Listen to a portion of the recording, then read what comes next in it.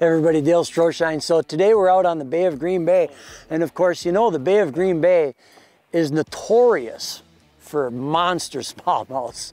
And uh, some areas that you really want to look at what I always tell everybody is this. If you're coming to Sturgeon Bay, number one, stay mobile. Got to keep moving. Many of times when you pull into a spot, you're going to get fish in those first two, three, four casts. If they're not there, you got to pick up and move. And what we're looking for is just different rock bars. These fish here primarily relate to these rock bars. There's a lot of days they'll be up on the top and certain days they'll be off on the sides. So you got to play it, you got to work a little bit all. So when you're making those moves, kind of come in, get the lie of the land with the graph. Look what you've got in that area. So what I want to do is I'm going to work that 8 foot top and then maybe jump over to that 10, 11 foot and then get on the break as well or get off the flat because a lot of times in that 14 foot range is where you're going to find the rock sand transition. I'll move out on that sand because there's certain days they're just sitting out on the sand as well. All right, so when you're fishing the Ned rig, and by the way, it's one of my favorite techniques up here in the Sturgeon Bay area.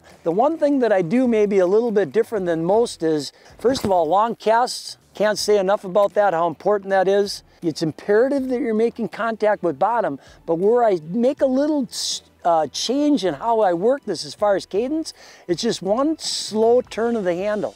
Just pick it up the line, one slow turn, and then wait for it to hit, and you want to watch that line always. What I'm doing is I'm watching the rod tip down that first 20 feet and watching that line. And as soon as I see that bow lay out, I know I've made contact with bottom and that's where I pick up that line. Now, you're not going to get like a traditional style bite where you get a tick. What's going to happen is when you go to pick up the line, you're just going to have resistance.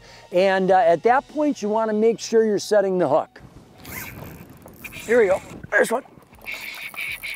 I'm a tight drag guy, so if they need line a lot of times, I'll just give them line this way. Because if you don't got a tight drag, you don't get a good hook set on them.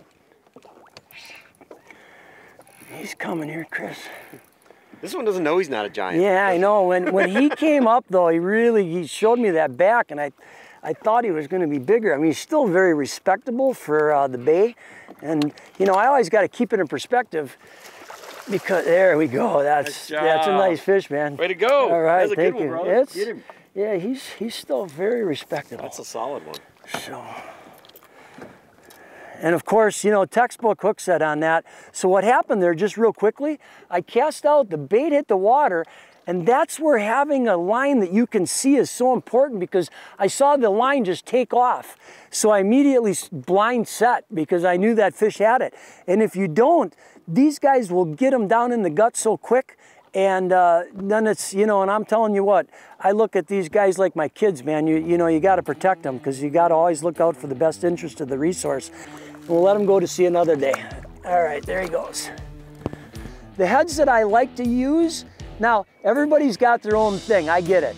I'm just giving you my personal preference. I'm using a Berkley half head, and a lot of times I'm throwing as light as I possibly can because we're dealing with this goop. It grows on the bottom of the lake, and if you go to heavier jigs, the problem is before you even start, you're already over because the jig is so heavy that it penetrates down into that and the jigs get all gooped up. The other thing is a lot of these fish here relate strictly to rock sand transitions. But when you get in these bigger rocky areas that I like to fish and where these fish like to live, more importantly, I want to go to that lighter jig because it enables me to stay up on top of those rocks. Now it's also important to watch that line, like I said, because you're skipping it along the bottom.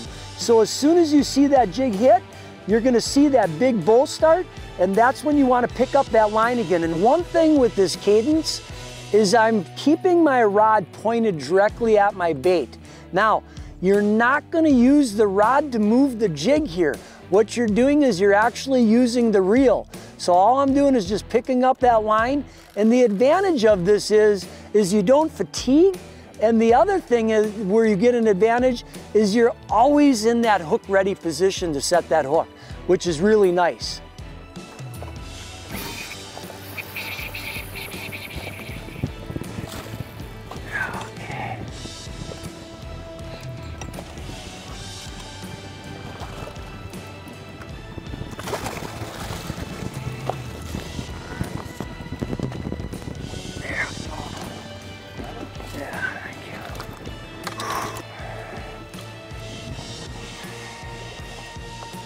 Good old Ned rig right there.